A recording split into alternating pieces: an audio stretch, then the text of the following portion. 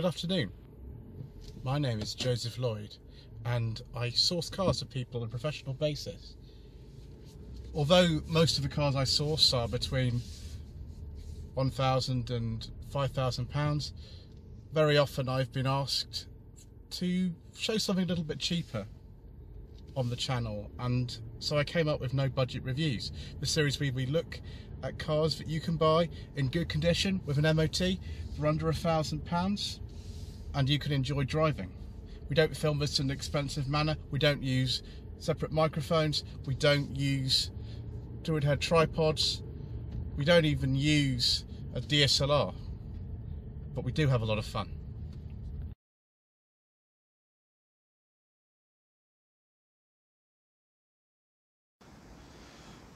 Well, viewers, I've waited a very, very long time for this moment. Here is a 2005 Rover Streetwise 1.4 GLI. These cars are exceptionally rare now. They weren't made for very long. They were made between July 2003 and April 2005. There were some of these that were completed by uh, the administrators after MG Rover went bankrupt in April 2005 but there aren't an awful lot um, left. I do apologise, it's a bit noisy here.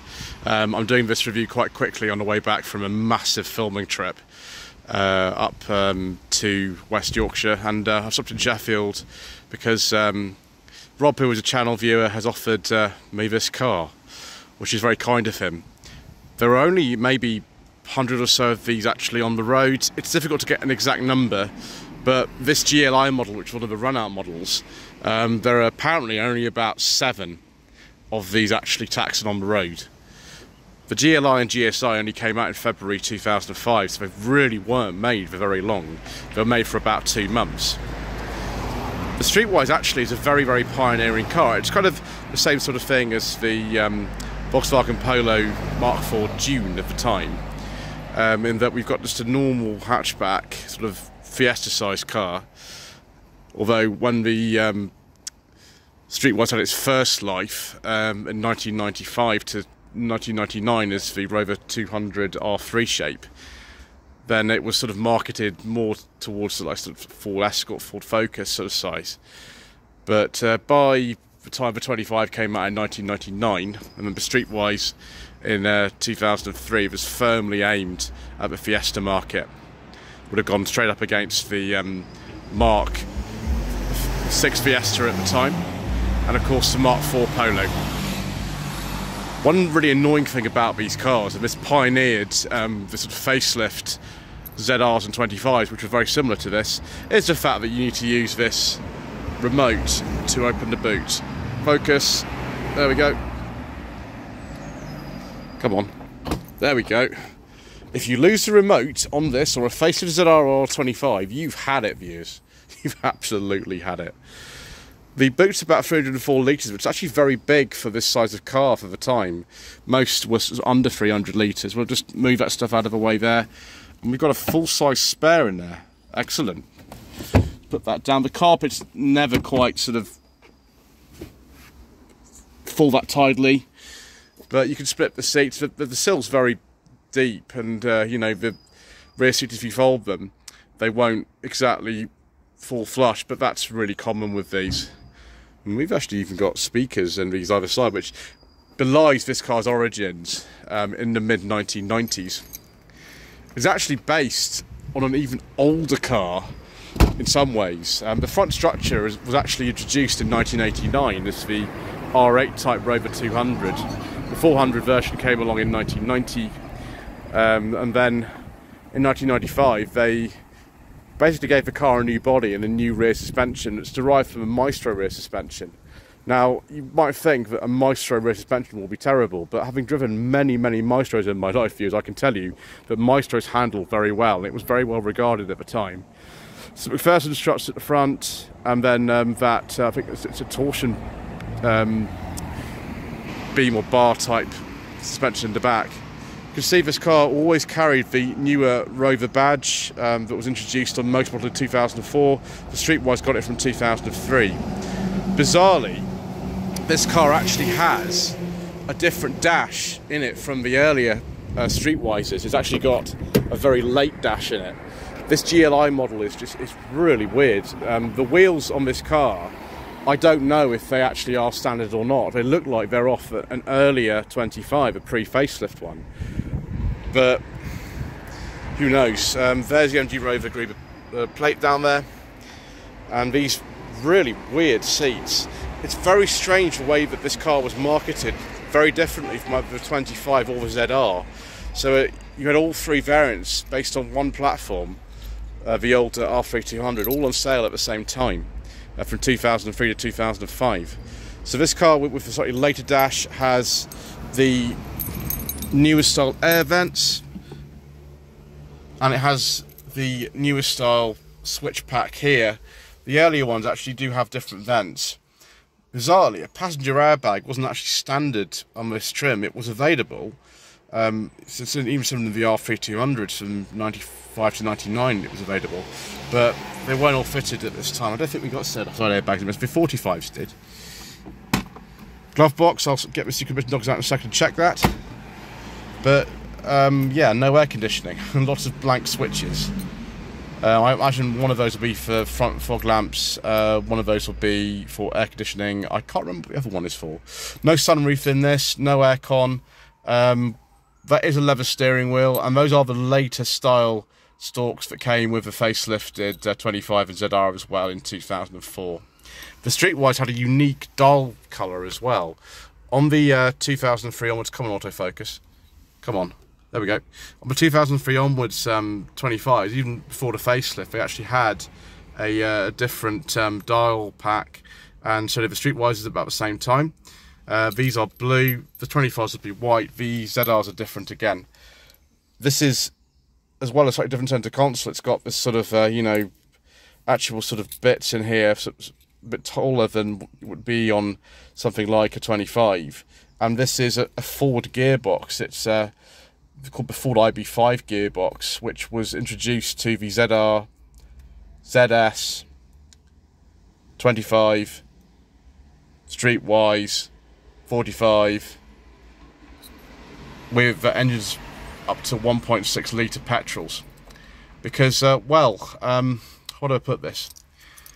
BMW owned the gearbox factory where the gearboxes were made, especially the R65 gearbox, which dated back into 1989 with the R3200, and that um, was a Peugeot derived gearbox.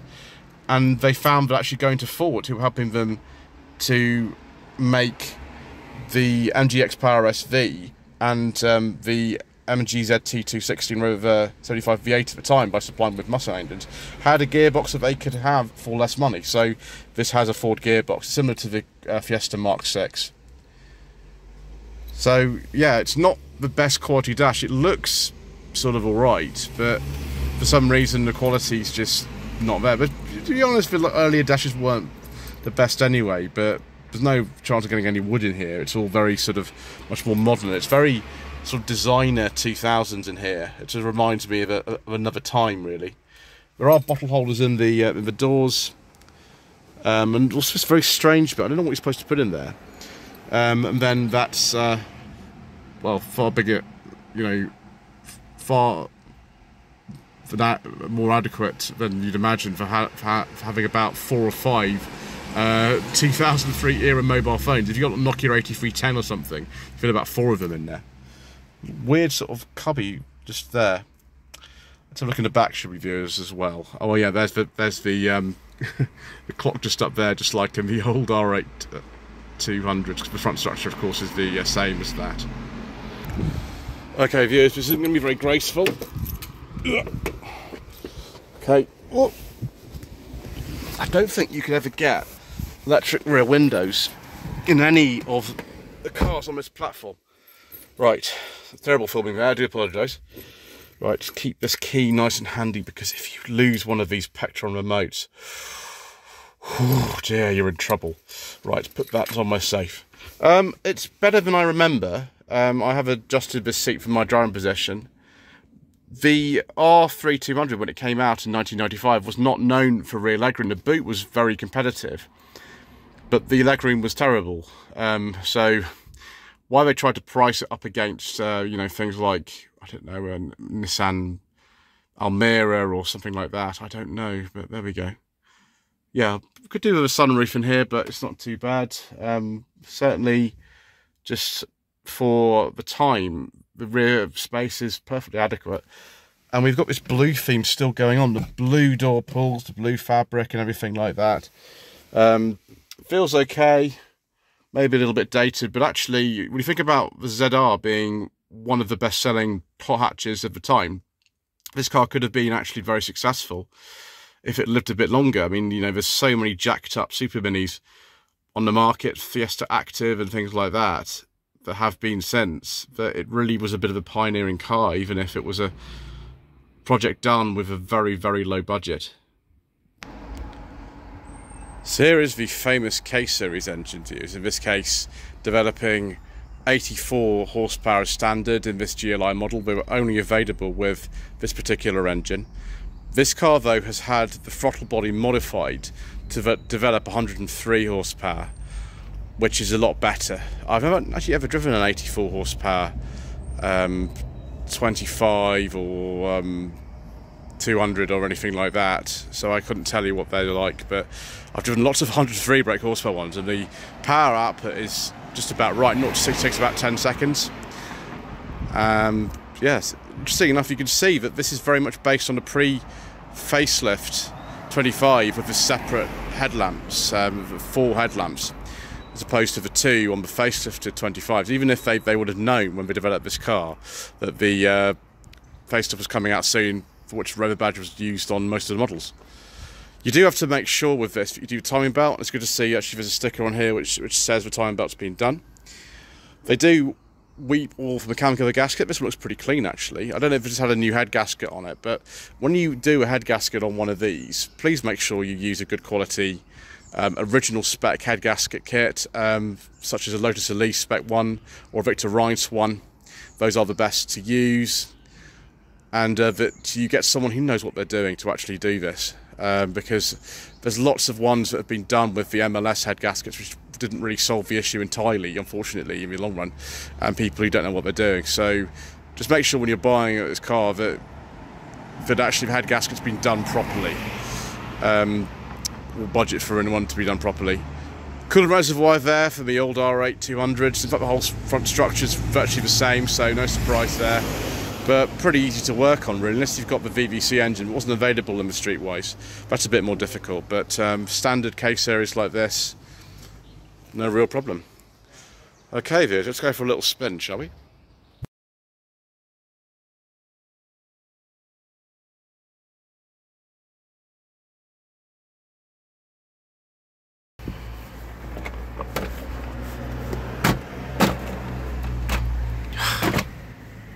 No. Right viewers, time for a little test drive around the streets of Sheffield. Go over a bump, that seems okay. So we've got raised suspension in this um, in this car, which is why a lot of the Streetwisers you see came with fairly large wheels, apart from the base model Streetwise. Now those are really, really rare. I think they only came with a 1.4 or 84 horsepower engine and they came with steel wheels. I have only ever seen one of those in my life, um, which is at Pride of Longbridge 2022. But the more normal cars um, in the Streetwise range you would have seen would be the uh, S and SE models that were the standard kind of specifications for these. Bizarrely, they didn't use the same trim structure as either the ZR or the 25. They were going for whatever they wanted to do that was a bit different. I do apologise, my mount is not particularly good today. I, have um, lost my main mount, so we're going to have to go with a really old one that shakes a lot. I do apologise, viewers. So the other engines available were the uh, 1.4K series 103 horsepower, like this car now has, although it wouldn't have had that originally. A 1.6 with 107 horsepower, and um, a 1.8 CVT automatic known as the step speed with 115 horsepower. There are also some diesels available, But as usual, due to controversial government legislation and all kinds of other reasons, we are, after all, quite close for Sheffield Clean Air Zone. We don't talk about diesels on this channel.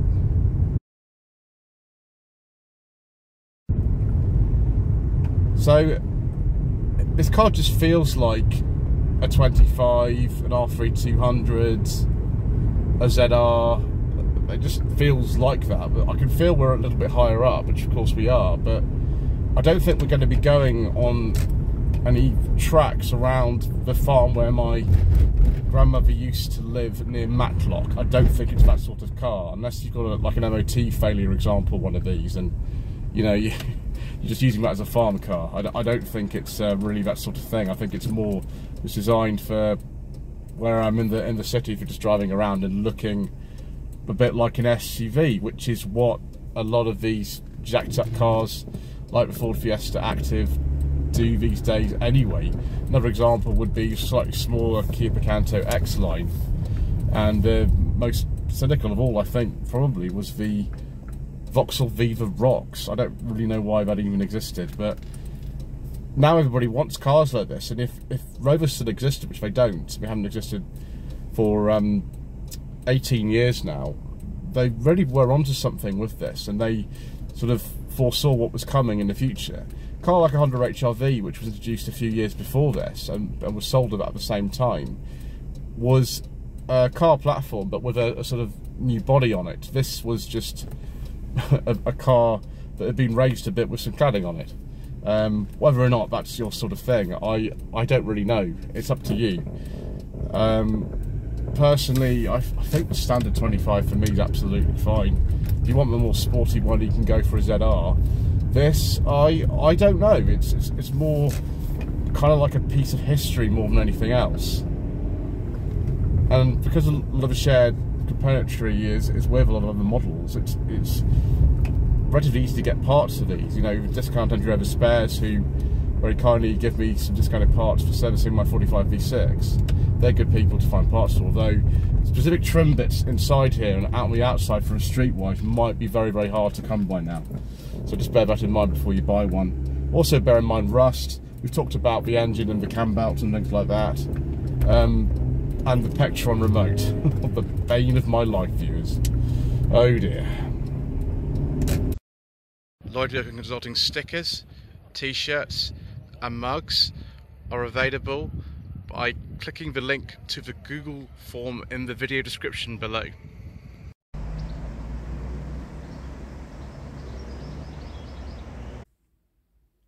So viewers, should you consider a Rover Streetwise with your hard-earned budget of between say 500 and a thousand pounds? Well, depends if you can find one of these. They're not exactly common.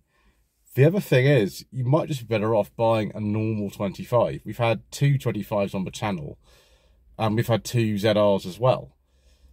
The ZR probably drives a little bit better. It's a bit firmer. Um, the 25s are more plentiful, and they're a bit cheaper. But if you want the look of this, and you want this kind of piece of pioneering history, it's amazing what MG Rover are able to do with really not a lot of budget and some kind of old-fashioned ingredients to make this look as different as um, as it does. So, you know, from that point of view alone, it, it is quite interesting.